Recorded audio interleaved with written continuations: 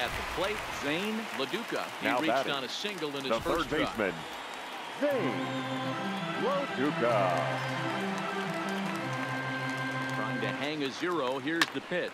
And he turns on one, sending it high and deep to right. Gone! It's a grand slam.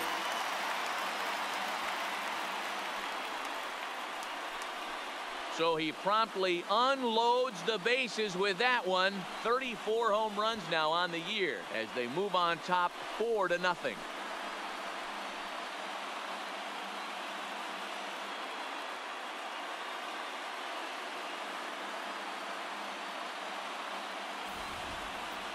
Oh, man, when he got the second out, I thought he might come out of this unscathed. But after that towering grand slam, he's about as scathed as you can get.